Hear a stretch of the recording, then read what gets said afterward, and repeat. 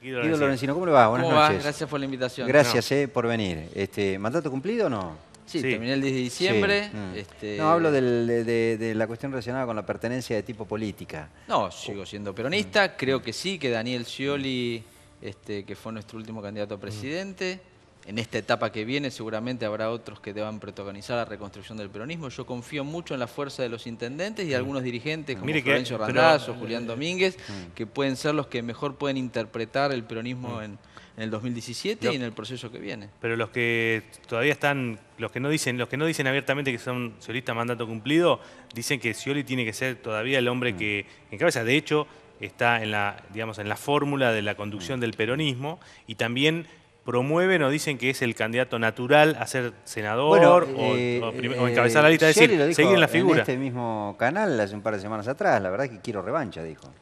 Sí, yo creo que lo primero que, tiene que tenemos que definir desde Sí. el peronismo, del Frente para la Victoria, es de qué manera volvemos a generar que la gente crea que nosotros somos la mejor alternativa de cambio. Claramente, si no volvemos a hablarle fácil a la gente, a interpretar y a representar sus problemas, seguramente no nos voten. Pero eso no lo hacía Scioli, lo hacía bien. sí, ¿o sí, no? lo hacía y perdimos, digamos, con lo cual no lo hicimos tan bien, nos ganó Macri, así que creo que la gente eligió una opción diferente a la nuestra. Habremos fallado, no habremos interpretado el mensaje, no habremos representado bien a la gente. Es medio descarnado Lorenzino de eso, digamos, perdió y afuera. Pero no, no es que perdió de afuera. Él fue vicepresidente, ocho años gobernador. Creo que Mm. viene una nueva etapa donde los que quedaron en pie con representación real, que son los intendentes y los gobernadores, pero hablando de la provincia de Buenos Aires, Mm. nuestros 55 intendentes son los que tienen que tratar de ayudarnos a reconstruir el peronismo ahí- que ahí- viene. Y me parece que en eso, Florencio Randazzo es un gran protagonista y un Pero, gran bueno, actor. pero ahí estamos, digamos, en la misma, porque Florencio Randazzo ni siquiera llegó a perder. Por eso, digo, me los intendentes pueden tener, como, como vos decís, esto de que tienen el valor de haber ganado. Bueno, que reconstruyan ellos, que Pero son eso, los que al fin y al antes cabo- que el Ahora candidato, sí, sea mm. Florencio o no sea, digamos, antes que el candidato me parece que es el mensaje lo que uno quiere representar. Mm. Claramente nosotros durante muchos años supimos representar lo que la gente quería.